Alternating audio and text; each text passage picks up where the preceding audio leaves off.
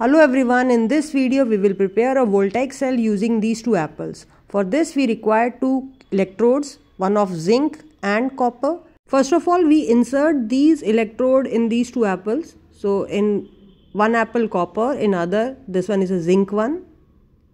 These two apples are joined by a metal strip for the connectivity so that circuit can easily completed.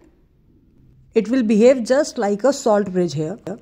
Now next step is to connect this circuit with this multimeter as we can observe the reading is 0 here and now the reading will change you can observe but the moment I'm joining these two electrodes then there is no change in the reading but when joining the circuit there is a reading in this multimeter.